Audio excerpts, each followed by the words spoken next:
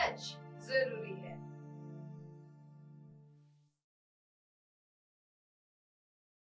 नमस्कार, आप देख रहे हैं एमएनएस न्यूज़ लाइव आइए देखते हैं आज की खास खबर। जरीपटका इलाके में अनियंत्रित कार ने ई रिक्शा को मारी जोरदार टक्कर।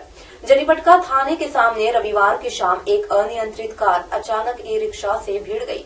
इस ई रिक्शा के धक्के से एक दोपहिया गाड़ी भी फुटपाथ पर गिर पड़ी। सौभाग्य से कोई हताहत नहीं हुआ, लेकिन बेकाबू कार के बाई और हेडलाइट और पैनल श्रुतिग्रस्त हो गया। यह घटना शाम साढ़े पाँच बजे पर हुई। इस दौरान जरीपटका थाने के सामने दो राजनीतिक पार्टियों के कार्यकर्ताओं के विवाद से कार्यकर्ता बड़ी संख्या में रोड के किनारे खड़े थे।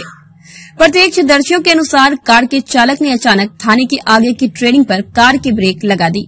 कार चालक को अजीब तरीके से हिलते देखकर रोड पर खड़े युवक गाड़ी के पास पहुँच गए। कुछ युवकों ने कार चालक को संभालने का प्रयास किया। कार चालक का पैर ज़ोर से एक्सीलेटर पर दब गया। फिर कार अनियंत्रित होकर आगे जाकर रोड किनारे खड़े ई रिक्शा से भिड़ गई। यह देखकर लोगों ने कार की चाबी निकालकर गाड़ी बंद कर दी। कार चालक के चेहरे पर पानी मारकर संभालने की कोशिश शुरू की। कार चालक को मिर्गी का झटका आने की बात कही जाने लगी। इसके बाद एक अन्य आकार में मरीज़ कार चालक को अस्पताल रवाना किया गया। इसी के साथ खास खबरों को यही विराम देते हैं। फ़िलहाल वक्त तो चला है एक ब्रेक का। ब्रेक से लौटने के बाद देश दुनिया की तमाम खबरें देखने के लिए बने रहे एमएनएस न्यूज़ के साथ। नमस्कार।